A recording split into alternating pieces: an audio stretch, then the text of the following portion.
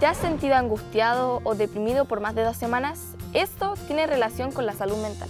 ¿Y qué es la salud mental? Según la definición de la Organización Mundial de la Salud, es un estado de bienestar mental que permite a las personas hacer frente a los momentos de estrés de la vida, desarrollar todas sus habilidades, poder aprender y trabajar adecuadamente y contribuir a la mejora de su comunidad.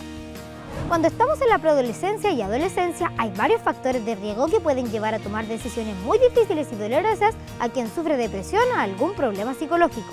¿Cómo podemos colaborar? Si conoces a alguien que pueda necesitar ayuda, hay varias posibilidades para recibir apoyo de un profesional.